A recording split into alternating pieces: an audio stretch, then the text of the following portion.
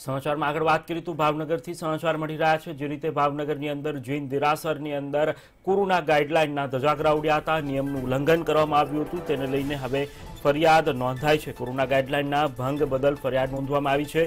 દાદા સાહેબ દેરાસર ખાતે કાર્યક્રમ યોજવામાં આવ્યો હતો, જેમાં બસોથી વધુ શ્રાવક શ્રાવિકો એકત્ર થયા હતા. નિયમ ભંગ બદલ પોલીસ ફરિયાદ નોંધી અને કાર્યવાહી હાથ ધરવામાં આવી છે.